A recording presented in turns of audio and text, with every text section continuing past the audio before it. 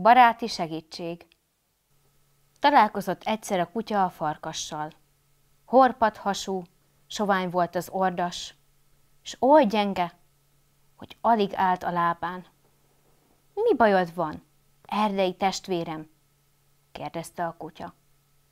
Beteg voltam, nem bírok vadászni a gyengeségtől. Éhen halok, csak vánszorgok. Segítek én rajtad, elvégre a rokonom vagy, biztatta a kutya. Ma adja férhez a lányát a gazdám, nagy lagzit csapnak. Ha besötétedik, érted jövök. Várj rám itt a bokrok között. Így is lett. A kutya elbújtatta a farkast a kertben, az almafa alatt, és hordta neki az ennivalót. Úgy jól lökött a koma, mint a duda, s menten erőre kapott. Telt múlt az idő. Egyszer aztán újra összetalálkoztak. A farkas meg a kutya. A farkas jó egészségnek örvendett, annál siralmasabb bőrben volt a kutya. Mi bajod van? Falusi testvérem. Rémült meg az ordas. Beteg vagy?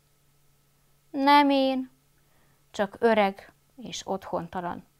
Rossz már a hallásom, hát elkergettek a gazdámék, és nincs mit ennem, vinnyogta a szerencsétlen. Egyet se szomorkodj, testvér, vigasztalta a farkas. Segítettél rajtam, mikor bajban voltam, én sem hagylak cserben? Annyit mond csak, hol alszik a gazdádék kicsi fia? Kacper. Szép időben mindig kinring a bölcsőjébe a kertben. Akkor könnyű dolgunk lesz. Én ellopom a gyereket, kirohanok vele az erdőszélre, te fellármázod a falut, mintha üldöznél az erdőszélen, aztán felkapod a pójást és úsgyi. Visszaviszed a gazdának. Hamarosan sikoltozás verte fel a falu csendjét. Segítség, emberek! Kicsi Kacpert ellopta a farkas, az erdőbe szaladt.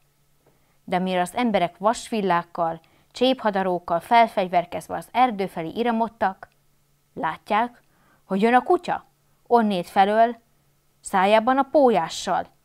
Ej, nézzétek már, hisz ez a mi lompos kutyánk!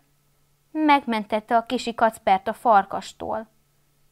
Ettől kezdve olyan dolga lett a kutyának a gazdánál, mint valami kis királynak. Meleg vacokban hált, húsfazékba levett, száját is megnyalta utána.